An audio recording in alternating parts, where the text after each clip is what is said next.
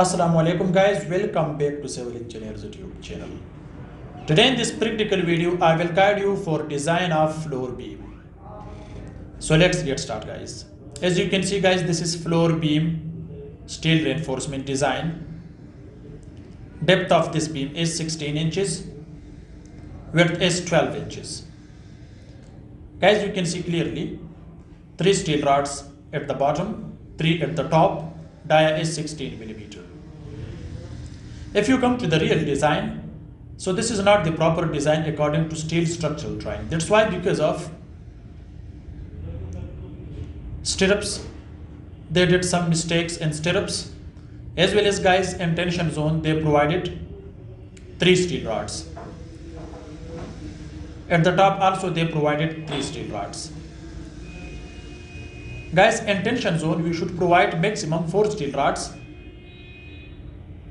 that's why because concrete is weak in tension but it's strong in compression. So therefore guys in compression zone if they provide two steel rods so no problem but at the bottom four steel rods should be provided to make a good result. Now guys you can see here clearly stirrup dia is 6 millimeter which is not the proper for this floor beam. Hooks you can see guys which are provided are bent with 90 degrees so also this is not the proper design. Next guys you can see they provided lapping at the bottom. In tension zone they provided the lapping. Guys you can see clearly.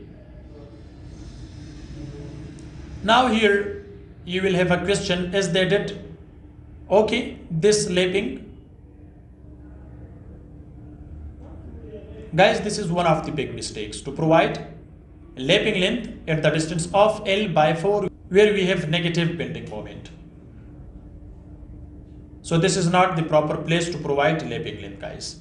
The lapping length should be provided after L by 4 distance. So to the distance of L by 5 you are able to provide lapping length because we have negative bending moment so this is the danger place. So this is not good. Next guys you can see this is RCC column size is 12 by 12 inches they provided. Air steel rods dia is 16 millimeter. Next guys you can see the stirrup spacing to the distance of L by 4 also at the middle spacing is same which is 8 inches the spacing of stirrups should be difference especially in L by 4 distance are to the distance of are at the middle. That's why because if they placed same distance between stirrups, so this is not okay according to steel structural design. That's why because of stirrups should be placed closely to the distance of L by 4 where L is length between two RCC columns. Guys, you can see clearly. They provided hooks with 90 degree so it should be provided on 135 degree. So this is the proper design guys. You can see here clearly. The first stirrup should be placed with minimum 2 inches distance. Unfortunately they provided minimum with maximum which is 7 inches guys you can see here clearly everything. Three steel rods at the bottom three at the top size size of the beam is 12 by 16 inches. One other mistake guys you can see they run sanitary pipe a rainy water pipe inside RCC column. So this is one of the big big mistake in the construction of this column. That's why because it can weak the column. Guys you can see clearly everything you can see in this section.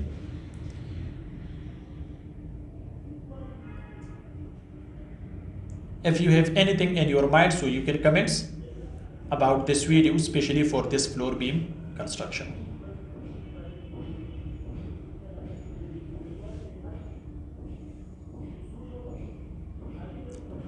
Especially in the junction between beam and column they should provide bent up bar or crank bar to resist negative bending moment so therefore i am telling you they should provide four steel rods at the bottom at the middle two steel rods should be bent with the dis distance of L by 4 to resist negative bending moment to the upward side.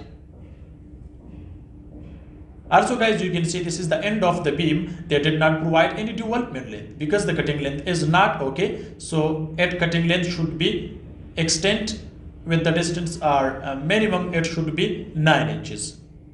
The development length. Guys, you can see they marked the, uh, the steel rods to provide are placed stirrups. Guys, you can see they did not provide the development length. Development length should not be less than 12 inches also guys on the other side you can see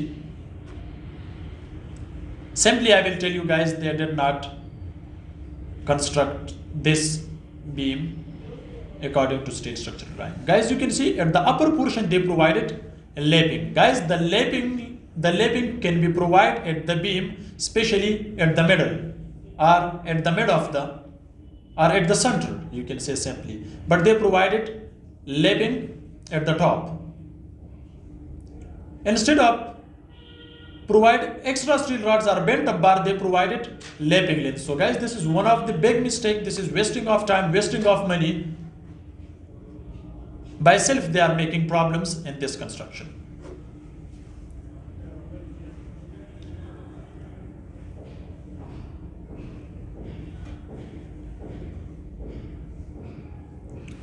Guys, you can see they are placing the stirrups for this beam also